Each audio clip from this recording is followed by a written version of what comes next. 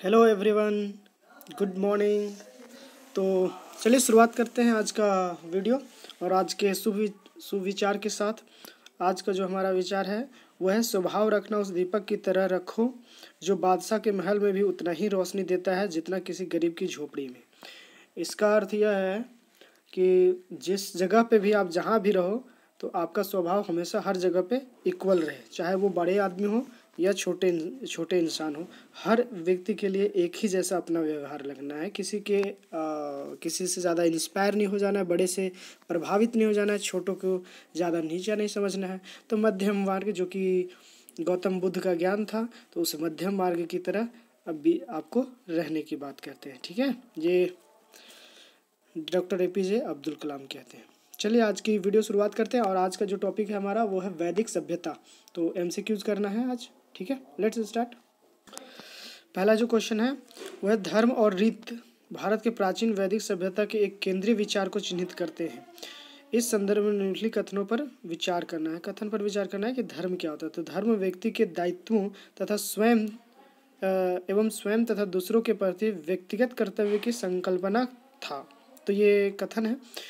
यानी कि एक व्यक्ति का पर्सनल क्या दायित्व होता है रिस्पॉन्सिबिलिटी होता है, और क्या जवाबदेही होता है, किसी पर्सनल से रिलेटेड वो उसका धर्म होता है। मतलब एक अकेले आप मिल रहे हो, किसी और से अकेले में मिल रहे हो तो उसके प्रति आपका व्यवहार कैसा होना चाहिए, वही आपका धर्म कहता है, ठीक है? रीत का कहना का मतलब है, रीत जो कि मूल मूल रीत कहती है, मूलभूत नैतिक विधान था जो सृष्टि और उसमें अंतर्निहित सारे तत्वों के क्रियाकलापों को संचालित करता है। तो ये एक नैतिक विधान है। ठीक है, नैतिक विधान का मतलब है कि आपको बड़ों के साथ व्यवहार कैसा होना चाहिए, आपके छोटों के साथ व्यवहार कैसा होना चाहिए पेड़ पौधों जीव, निर्जीव, इन सब के साथ आपका कैसा व्यवहार है, नैतिक व्यवहार है, उनके बारे में ये कहती है रीत। तो धर्म जो है, आपका व्यक्तिगत तौर पे एक तरह से बात करती है, व्यक्तिगत कर्तव्य की संकल्पना की बात करती है, जबकि रीत जो है आपका नैतिक विधान की बात करती है। ठीक है तो ये आपका आई का प्रिय का क्वेश्चन था, जो कि इसका आंसर जो है वन एन सी बॉथ होगा। ठीक है? चलिए नेक्स्ट क्वेश्चन पे चलते हैं।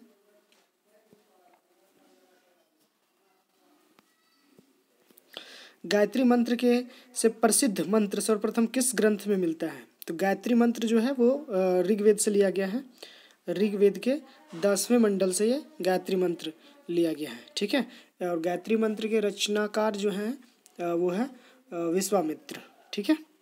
चलिए, और नेक्स्ट क्वेश्चन है, निम्न आश्रमों को कर्मानुसार बदलना है। निम्न आश्रम, देखिए, इसमें से सबसे पहला जो हो जाता है फ़र्स्ट टू जब तक शिक्षा ग्रहण कर रहे हैं, जब तक पढ़ाई कर रहे हैं स्टडी कर रहे हैं, तब तक के लिए होता है ब्रह्मचर्य। फिर उसके बाद शिक्षा पूर्ण होने के बाद व्यक्ति व्यक्ति का विवाह हो जाता है, जो कि कहलाता है फिर गृहस्थ, ठीक है? फिर वो गृहस्थ में चला जाता है, गृहस्थी खत्म हो जाती है तो फिर वानप्रस्थ हो जाता है, जो कि वान, वानुगमन का समय होता था। वो पूर्व काल की बात है, वो वैदिक सभ्यता के कल्चर की बात है, ठीक है? फिर उसके बाद जब वन आश्रम खत्म हो जाते थे, फिर आपका ये संन्यास ग्रहण करते थे, ठीक है? तो ये पहला इसका आंसर है, ब्रह्मचर्य, फिर गृहस्थ, फिर वानप्रस्थ, फिर संन्यास, ब्रह्मचर्य, गृहस्थ, वानप्रस्थ, संन्यास। चलिए नेक्स्ट क्वेश्चन देखते हैं। निम्न में से किसमें विख्यात गायत्री मंत्र मिलता है? तो मैंने बताया था, ऋग्वेद में मिलता है, गायत्री मंत्र किस पुस्तक में मिलता है? तो ये कहाँ मिलता है? ऋग्वेद में मिलता है। ऋग्वेद मूल लिपि क्या है? तो ऋग्वेद की मूल लिपि थे, इसको याद ध्यान में रखिएगा, ये ब्रह्मी लिपि में अच्छा ब्रह्मी लिपि से मुझे याद आता है, जेम्स प्रिंसेप का। James Prinsep. जेम्स प्रिंसेप में, प्रिंसेप ने अठारह सौ सैंतीस में ब्रह्मी लिपि को सबसे पहले पढ़ने में सफलता अर्जित की थी। नेक्स्ट अगला क्वेश्चन है, ऋग्वेद का सर्वाधिक लोकप्रिय छंद कौन सा है? तो गायत्री मंत्र ऋग्वेद का, दसवें मंडल में रचयिता कौन है? विश्वामित्र, ठीक है? चलिए, अगला क्वेश्चन है, निम्न में से किस संकल किसका संकलन ऋग्वेद पर आधारित है? ऋग्वेद पर आधारित है तो ये ऋग्वेद पर आधारित है सामवेद का। इस चीज़ को याद रखिएगा, सामवेद।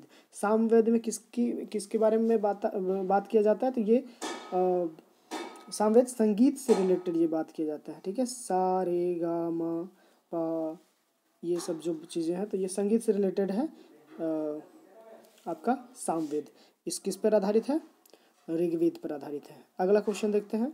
देखिए, इस चीज़ को देखिए, ये इंपॉर्टेंट क्वेश्चन एक बन जाता है आपका। ऋग्वेद में क्या है? तो ऋग्वेद में क्या है?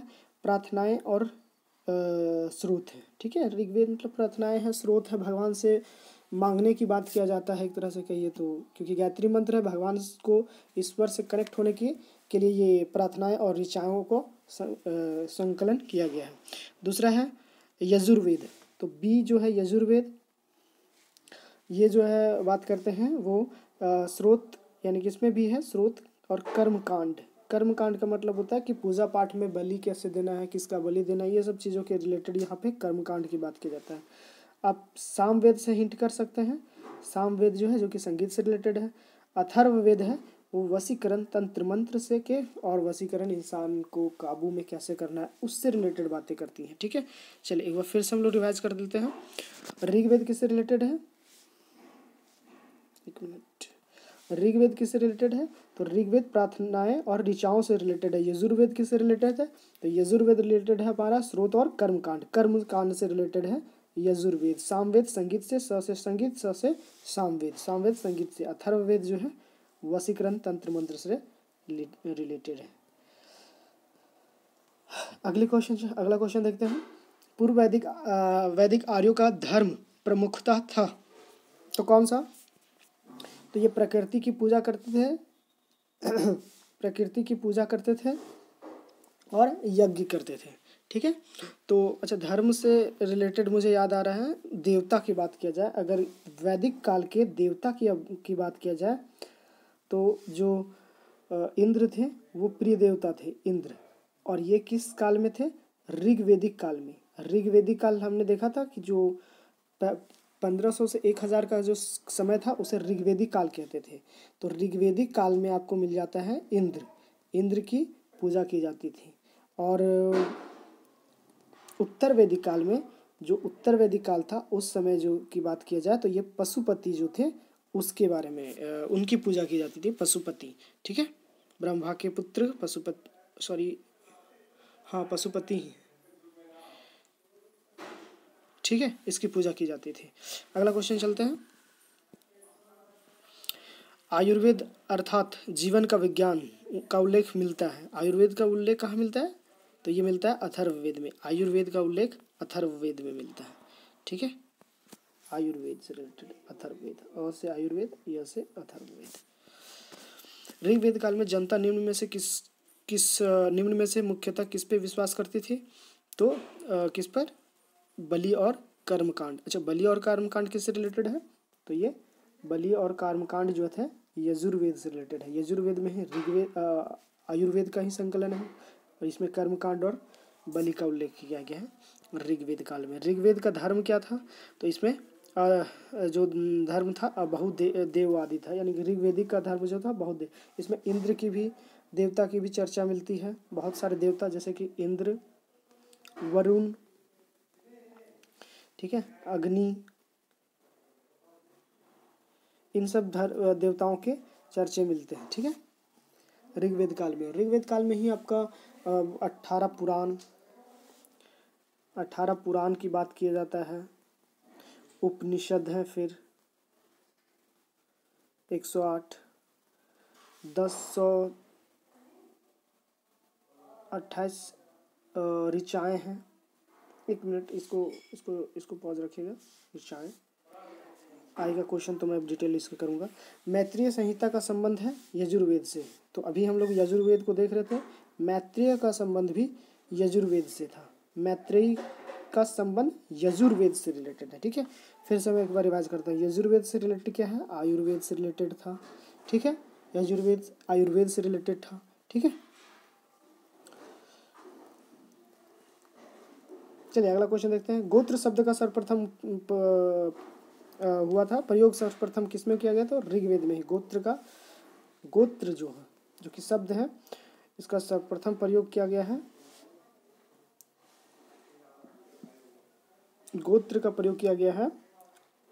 सॉरी ये आपका हो जाएगा ऋग्वेद में। तो गोत्र शब्द का प्रयोग ऋग्वेद में हुआ है। सुरा की हावती का उल्लेख मिलता है सौत्राणी में, सौत्राणी से, ठीक है? सौत्राणी से मिलता है सुरा के उल्लेख। ऋग्वेद के किन किन मंडलों में वंश का मंत्रण मंडल से नाम से जाना जाता है? ऋग्वेद के किन मंडलों को वंश मंडल के नाम से जानता है? तो द्वितीय से सप्तम। तो मंडल टोटल कितने हैं? मंडल है आपके दस। ठीक है? सॉरी हाँ मंडल दस। इसमें से द्वितीय से सप्तम तक आपको वंश मंडल के नाम जा जाता है। ऋग्वेद में निम्न से किस शिल्प का उल्लेख नहीं है? तो हाथी दांत का उत्कीर्णन का उल्लेख नहीं है। मृत्यभांड थी, बुनाई, बढ़ाई ये सभी थी बट हाथी दांत का उत्कीर्णन का उल्लेख नहीं है। ऋग्वेद में सर्वाधिक संख्या में मंत्र संबंधित है, अग्नि से। ऋग्वेद काल में हमने कहा था, अभी आप हमने थोड़ी देर पहले बात की थी, अग्नि। अग्नि अग्नि भी देवता थे, वरुण देवता, विष्णु देवता, यम देवता, ठीक है? इन सभी, ये सभी देवताएँ उस समय थी। तो यानी कि बहुदेववाद था। अब यह बात किया जा रहा है कि मंत्र जो है, ऋग्वेद में जो संख्या है, मंत्र संबंधित है तो वो अग्नि से रिलेटेड है। सर्वाधिक संख्या कितने हैं? अग्नि के। ढाई सौ बार इसका उल्लेख है। ठीक है? अगला चलते हैं। ऋग्वेद में वशिष्ठ को किसके पुरोहित के रूप में प्रस्तुत किया गया है? तो ये भरत भरत जो थे, उसके जो पुरोहित थे वो वशिष्ठ थे। पुरोहित मतलब जो पूजा पाठ करवाते थे और शिक्षा, पुरोहित शिक्षा दिलवाते थे जो राजा होते थे, उनके पुत्र होते थे, उन लोगों को शिक्षा दे, देते थे तो ये कहलाते थे पुरोहित। और पूजा पाठ कर्म कांड ये सब चीज़ें करवाते थे पुरोहित, वशिष्ठ थे तो ये भरतों के थे, ठीक है? विष्णु का प्राचीनतम उल्लेख कहाँ मिलता है? तो विष्णु का उल्लेख मिलता है ऋग्वेद में ही। ऋग्वेद में ही विष्णु का उल्लेख मिलता है। प्रसिद्ध दस राज युद्ध, दस राजाओं का उल्लेख कहाँ मिलता है? तो ये भी दस राजाओं का भी उल्लेख मिलता है आपका ऋग्वेद में ही। अच्छा देखिए इसमें इसमें सुदास, एक और सुदास थे, और वर्सेस, यानी कि दूसरी तरफ़ दस राजा थे। ठीक है, दस जन थे, दस जन जो कि राजा थे, उनके बीच में ये युद्ध हुआ था, जिसमें से सुदास जो है, विजयी हुए थे। ठीक है? सुदास विजय हुए थे। दस राजाओं के युद्ध में भारतों का पुरोहित कौन था? अभी हम लोगों ने देखा थोड़ी देर पहले ही कि भारतों का पुरोहित, भारतों का पुरोहित कौन थे? वशिष्ठ। ठीक है? अगला क्वेश्चन देखते हैं। निम्न में से कौन सा ऋग्वेदिक स्त्रियों के संदर्भ में सही नहीं है? तो ये जो है रजस वाला होने के पहले ही उनका विवाह हो जाता था। ठीक है? रज स्वेला स्वेला जो कोई कार्यक्रम होता था, उससे पहले ही उसका विवाह हो जाता था। इस चीज़ को याद कर लीजिएगा। निम्न में से निम्नलिखित ऋग्वेद में निम्नलिखित देवताओं में से किसके लिए वर्णन है कि उनका रथ बकरे खींचते थे? तो ये पुरुष, पुषण जो होते थे, अब ये कौन सा देवता है? मुझे भी आइडिया नहीं है। पुषण देवता थे, वही उनका बकरे की तरह की। अवस्था और ऋग्वेद में समानता है। अवस्था किस क्षेत्र से संबंधित है? तो बी इसका आंसर होगा, ईरान से संबंधित है। आपको याद रख लेना होगा, अवस्था एक स्थान है। जो कि ईरान से संबंधित है। निम्नलिखित ग्रंथों में से प्रमुखता किसमें यज्ञ देवियों के निर्माण का उल्लेख मिलता है? तो डी सुल्भ सूत्र में सुल्भ सूत्र सुल्भ सूत्र में ग्रंथों में यज्ञ वेदिका का निर्माण का उल्लेख मिलता है यानी कि यज्ञ वेदिका होती थी।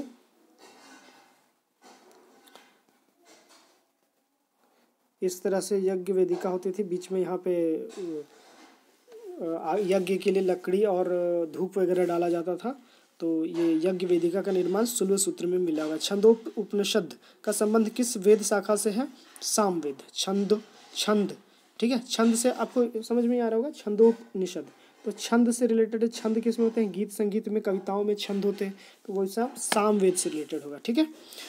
निम्नलिखित में से कौन सा वेद गद्य और पद्य दोनों में लिखा हुआ है? तो सी, यजुर्वेद। यजुर्वेद से रिलेटेड हम लोग देख रहे थे तथ्य, यजुर्वेद। यजुर्वेद में ही आपका आयुर्वेद से रिलेटेड यजुर्वेद में है, ठीक है?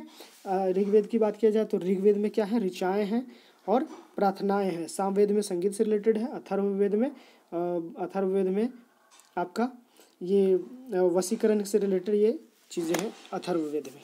अगला क्वेश्चन जाते हैं, निम्न में से कौन कौन सा सबसे प्राचीन वेद है? तो सबसे प्राचीन वेद जो है, ऋग्वेद है, ठीक है? तो ये विग है ऋग्वेद, सबसे प्राचीन वेद ऋग्वेद को कहते हैं। उसके बाद जो थी, वो उत्तर काल में तीनों वेद आए थे। सबसे प्राचीन वेद, इसका भी आंसर सी होगा ऋग्वेद काल। ऋग्वेद संहिता का नौवा मंडल पूर्णतः किसमें किसको समर्पित है? तो नौवा मंडल, अभी हम लोग देख रहे थे, दो से सात को वंश मंडल कहते थे। दो से सात को मंडल को वंश मंडल कह रहे थे, ठीक है? और ये है आपका नौवा मंडल। नौवा मंडल की बात करें तो ये सोम और पेह के नाम के देवता पेय पर नामांकित देवता थे, ठीक है? सोम और पेय सोम रस वगैरह होते थे पीने के लिए। चलिए, इसको मिलान करते हैं। ऋग्वेद, ईश्वर महिमा, यजुर्वेद, सामवेद। सामवेद से रिलेटेड हो जाएगा संगीत यकुट डी का फोर। फिर देखते हैं ऋग्वेद में ऋग्वेद में क्या है? ईश्वर महिमा, ठीक है? बी का वन हो जाएगा। ईश्वर महिमा। ये संगीत से रिलेटेड एक मिनट चलिए, देखिए, यहाँ पे आपका हो जाएगा ईश्वर महिमा। बी यानी कि ऋग्वेद। ये अथर्ववेद था ए में। ए में है यहाँ पे अथर्ववेद, ठीक है? तो बी जो ऋग्वेद है, वो ईश्वर महिमा से रिलेटेड है। सामवेद संगीत से रिलेटेड है ठीक है? यहाँ पे बी का सी और ये ऑप्शन मिल रहा है। ए का अथर्ववेद अथर्ववेद औषधि से संबंधित है। हम लोग देख रहे थे अथर्ववेद।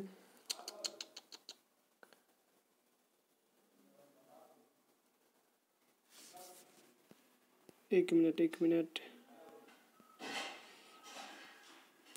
चलिए देखते हैं। आ, ये ए नंबर हो जाता है फिर से देख लेते हैं।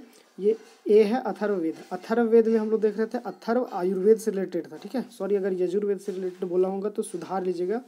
यजुर्वेद से रिलेटेड नहीं है आयुर्वेद। आयुर्वेद अथर्ववेद से रिलेटेड है, ठीक है? अथर्ववेद से रिलेटेड है आयुर्वेद। तो इसका आंसर जो होगा वो थ्री हो जाएगा और यजुर्वेद फिर जो है बलिदान से। यजुर्वेद, बलिदान और कर्मकांड से रिलेटेड ठीक है? ये आंसर इसका जो होगा वो ए नंबर होगा। इसका आंसर होगा नेक्स्ट क्वेश्चन चलते हैं। यज्ञ संबंधी विधि विधानों का पता चलता है। यज्ञ यज्ञ से रिलेटेड किसमें पता चलता है? यजुर्वेद। ठीक है? यज्ञ संबंधी यजुर्वेद। ऋग्वेद में क्या है? तो ऋग्वेद में प्रार्थनाएँ हैं, सामवेद में संगीत से रिलेटेड है, और एक फिर ये ब्राह्मण ग्रंथ से और। ऋग्वेद का कौन सा मंडल पूर्णतः सोम को समर्पित है? तो अभी ही देख रहे थे, नौवा मंडल जो था हमारा, सोम से रिलेटेड था। नौवा मंडल। ठीक है? आपका ये बार बार रिवाइज होगा तो आपको इस तरह से क्वेश्चंस याद रहेंगे। वैदिक सभ्यता में प्राचीन प्रचलित लोकप्रिय शासन प्रणाली थी तो वंश परंपरागत राजतंत्र था। मतलब राजा का बेटा ही राजा बनता था, ठीक है? ये वंश परंपरागत वैदिक का युग में थी। वैदिक युगिन सभा तो इसमें क्या थी? मंत्री परिषद थी, ठीक है? मंत्री परिषद थी। वैद वैदिक युगिन सभा कैसी थी? मंत्री परिषद थी। तो इसमें क्या होते थे? पुरोहित होते थे राजा होते आ, मंत्री होते थे ठीक है? तो ये सब पदे होते थे जो कि अभी भी मंत्री मंत्रिमंडल होती थी सभा और समिति होती थी जो उसको राजा का सिलेक्शन करती थी। तो सभा तो उच्च सद श्रेष्ठ लोगों की होती थी और समिति सामान्य लोगों की होती और समिति के द्वारा ही राजा का चयन होता था। ठीक है? आगे चलते हैं। सर्वप्रथम अस्तूपा शब्द कहाँ मिलता है? तो अस्तूपा मिलता है ऋग्वेद में। चलिए, ये भी क्वेश्चन याद रख लीजिएगा। स्तूपा मिलता है, स्तूपा स्तूपा, स्तूप सॉरी स्तूप ऋग्वेद में मिलता है। अगला क्वेश्चन चलता है। निम्नलिखित चार वेदों में से किसमें एक जादुई माया और वसीकरण? वसीकरण से रिलेटेड अथर्ववेद में है, ठीक है? तो ये अथर्ववेद में अथर्ववेद में आयुर्वेद से रिलेटेड है और वसीकरण से रिलेटेड भी है। किस वैदिक ग्रंथ में वर्ण शब्द का उल्लेख मिलता है? ऋग्वेद में। वर्ण, ऋग्वेद में मिलता है, ठीक है? वर्ण और एक और हम लोग देख रहे थे, गोत्र। ठीक है? ध्यान में रखिएगा। गोत्र। वर्ण और गोत्र, ये दोनों कहाँ मिलते हैं? ऋग्वेद में। वर्ण व्यवस्था से संबंधित पुरुष सूक्त मूलतः पाया जाता है। तो पुरुष सूक्त ऋग्वेद से पाया जाता है। ऋचाएँ, ऋग्वेद में कितने ऋचाएँ हैं? भी हम लोग देख रहे थे दस सौ अट्ठाईस। टेन, ट्वेंटी, एट हमारे पास ऋचाएँ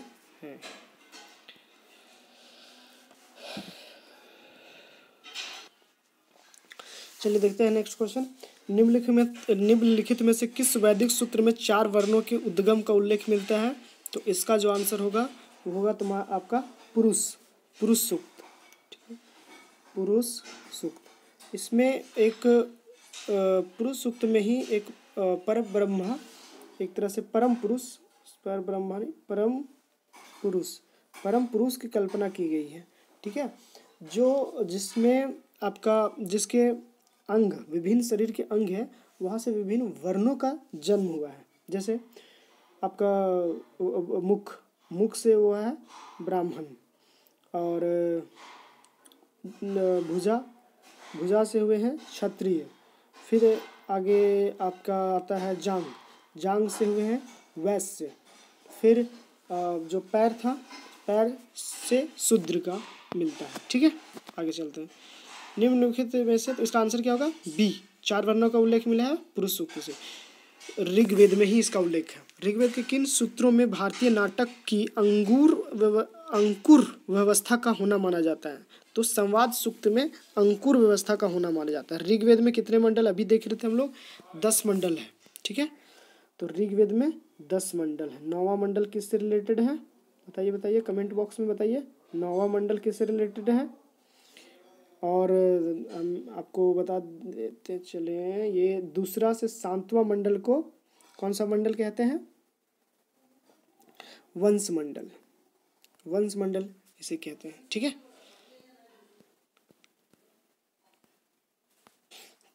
चलिए, आपको आंसर बता देता हूँ। नौवा मंडल। नौवा मंडल सोम से रिलेटेड था, सोम रस, मदिरा को ही कहा जाता था। तो उससे रिलेटेड था नौवा मंडल दसवा मंडल दसवा मंडल ऋग्वेद से रिलेटेड है, ठीक है? सांतवा मंडल सॉरी सांतवा मंडल सांतवा मंडल भी आप याद कर लीजिए, महत्वपूर्ण मंडल। जैसे दो से सात मंडल को आपको, आप क्या कहते हैं इसको? इसको वर्ण मंडल कहते थे। वंश मंडल सॉरी ये वंश मंडल कहलाता है फिर आपका आ जाता है सांतवा मंडल। सांतवा मंडल में आपका चर्चा जो है, वो पुरुष सूक्त के, परम पुरुष के चर्चा है सांतवा मंडल में। ठीक है? और फिर आपका दानसवा मंडल, जो कि ऋग्वेदिक से, ऋग्वेद से रिलेटेड है। नौवा मंडल सोमरथ से रिलेटेड है। तो इतने सारे फैक्ट्स आपके पास आ गए। इसको याद कर लीजिएगा। ठीक है? अगला क्वेश्चन चलते हैं। ऋग्वेद में सूक्तों के विषय में निम्न में से कौन सा कथन सही है? उनमें हिमवंत और मूलवंत का उल्लेख है। उनमें भौगोलिक शब्द जैसे कि आर्यवर्त और दक्षिणावर्त का उल्लेख है। तो ये इसका आंसर याद कर लीजिएगा। ये पहला और तीसरा, उनमें उल्लेख अधिकांश नदियाँ गंगा यमुना के पश्चिम से बहती है और उनमें हिमवंत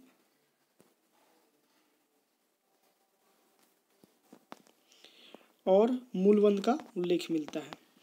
अगला क्वेश्चन देखते हैं।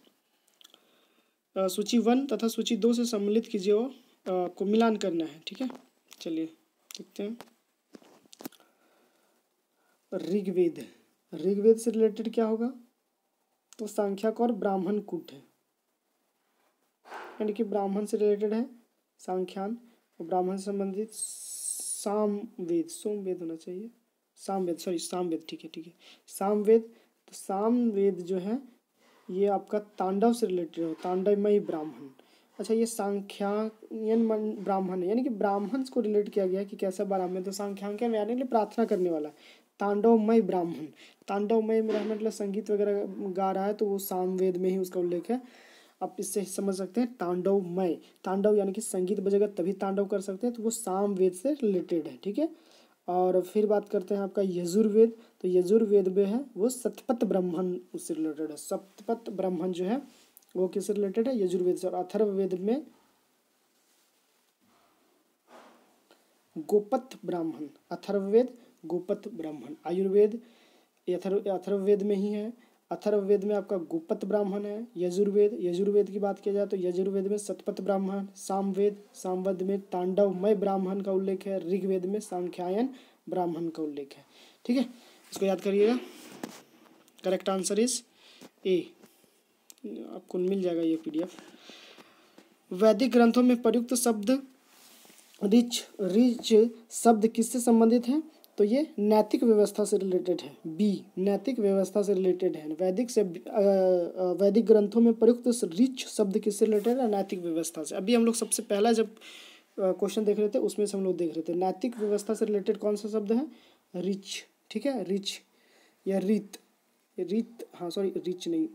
माई स्पेलिंग मिरर इरर रीत शब्द है, वो नैतिक व्यवस्था से रिलेटेड धर्म जो है, वो व्यक्तिगत व्यवस्था से रिलेटेड है, ठीक है? तो इसका आंसर होगा बी गो अपहरण के प्रसंग में ऋग्वेद में प्रमुख रूप से नाम है तो पणियों का, ठीक है? व्यापारियों का. ये व्यापारी होते थे। ऋग्वेद में यजुजन का अधिकतर किसके साथ युग्म बना है? तो तुर्वशु के साथ। ऋग्वेद में किसी मंडल का प्रथम सूक्त प्राय किस देवता के लिए है? तो अग्नि के लिए। अब ये आ रहा है प्रथम सूक्त। ठीक है, प्रथम सूक्त अग्नि से रिलेटेड है। राजस्वीय यज्ञ से संबंधित अनुष्ठानों का वर्णन किसमें है? यजुर्वेद में। ये इंपॉर्टेंट क्वेश्चन है, महत्वपूर्ण क्वेश्चन है। राजसूय यज्ञ का संबंध किससे है? तो यजुर्वेद से रिलेटेड है राजसूय यज्ञ। यंत्र महाभिषेक का वर्णन किया गया है। तो ऋग्वेद में इंद्र महाभिषेक।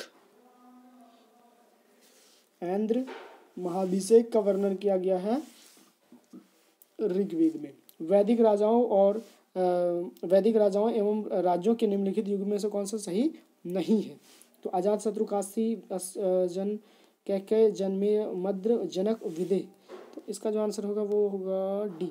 बिल्कुल। जन्मेय जो है, वो मद्र से रिलेटेड नहीं है, बाकी सब सही है, ठीक है? अजात शत्रु कनक से थे, आगे की जब हम लोग देखेंगे ये महाजन पद, अगला टॉपिक जो हमारा महाजन पद आएगा तो हम लोग देखेंगे काशी विदेह के कई, ठीक है? ये सब जो है, जन थे। सोलह महाजन पद, अंगोत्तर निकाय से ये लिया गया है। अंगोत्तर निकाय में उल्लेख है सोलह महाजन पद का। अंगोत्तर निकाय में सोलह महाजन पद। तो इसका क्या आंसर होगा? जन्मेय जो है, मद्र से रिलेटेड नहीं है। जन्मेय जो राजा थे, वो मद्र से नहीं थे। अजात शत्रु कहाँ के थे? काशी। जनक, विदेह, अश्वपति के कई ठीक है? वैदिक काल में ग्राम का मुखिया ग्रामीणी ठीक है? ग्राम का ग्रामीणी गृह का गृहपति, जिसे कुलप भी कहा जाता था। ठीक है? गृहपति को क्या कहा जाता था? कुलप। गृहपति, कुलप। विश्व को विश्व के मुखिया को विस्पति गण के गणपति और जन को राजा, राजन। ठीक है? अयोध्या का उल्लेख सर्वप्रथम कहाँ मिलता है? तो ए, ऋग्वेद में। ऋग्वेद में अयोध्या का उल्लेख मिलता है। ठीक है? तो आज का वीडियो यहीं पर एंड करते हैं। अगर वीडियो अच्छा लग रहा हो तो चैनल को सब्सक्राइब करें और अपने दोस्तों में इसको शेयर करें। धन्यवाद।